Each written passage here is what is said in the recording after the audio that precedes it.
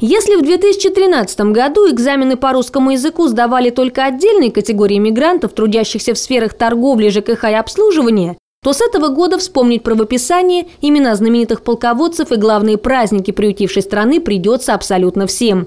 Есть, которые очень хорошие результаты показывают, сдают очень хорошо и на 90 баллов из 100, и выше 90 баллов. Готовились это через интернет только. Интернет всех есть же.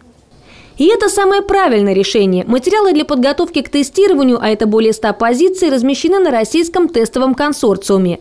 На родине многие учились довольно неплохо, но богатый и могучий русский язык ставит в тупик даже отличников и хорошистов.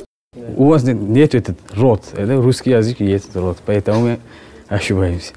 Атабек привез свою семью из Таджикистана. Он сам живет в России уже 10 лет. А с русским языком как у вас с историей России? Не, знаю немножко, да. Немножко? Да. Теперь надо сдавать экзамен? Да, да. Сложное дело? Да, наверное, сложно, да. Тахиру уже 37, ему повезло больше. Он приехал давно и учился в нашей школе. Сегодня привел в центр своего племянника и искренне переживает, что новые изменения в законодательстве не на пользу его землякам.